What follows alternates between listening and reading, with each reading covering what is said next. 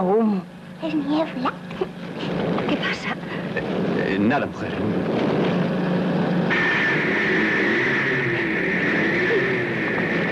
Busca un sitio. Hay que salir de aquí. sí, ya voy. Hay que Ya salir. voy.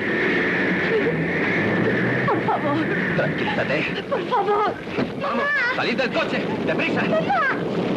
El niño, el niño. Por aquí.